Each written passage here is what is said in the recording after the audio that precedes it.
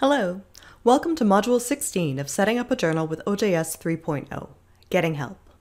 We recognize that there's no way for us to include all possible information into our PKP school courses, and this extra module aims to help you discover the different ways in which you can access more detailed support as you develop your journal with OJS 3.0.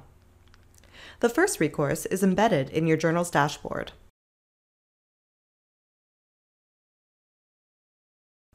Most pages in the dashboard have a Help button. Clicking on it will open a sliding window with information about the page that you are on and what you can do there. If you scroll to the top, you'll see you have access to a table of contents.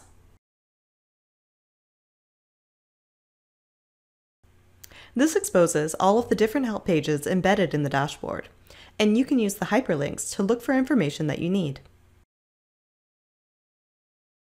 Or you can use the previous and next buttons at the bottom of the page to read through like a manual. This content is sourced from the PKP documentation GitHub and is updated in tandem with software upgrades, so should always be current. If you require more in-depth assistance, head to the PKP main website, pkp.sfu.ca. From the top navigation, you can see there is a link called Support. Under it are the different places you can look for further assistance. The PKP Community Forum is a place where you can ask questions and review questions that have been posed. Here, you can leverage the expertise of the PKP community members. You're also welcome to assist in answering questions and to join in any of the forum conversations. There is a specific area for frequently asked questions, as well as a dedicated questions subforum. The documentation link leads you to the PKP wiki page. The wiki is a web of collected information sources. You can use the search bar to look for something specific, or you can dig around through the descriptive links for a more organic search.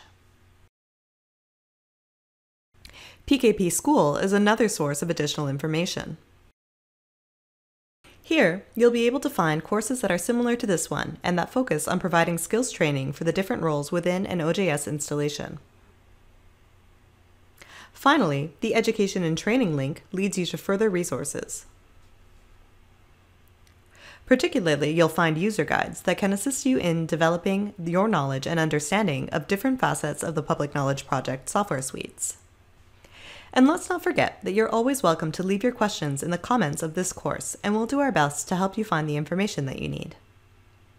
And that concludes our course, Setting Up a Journal with OJS 3.0. Thank you for watching and learning with us, and we look forward to reading your journals.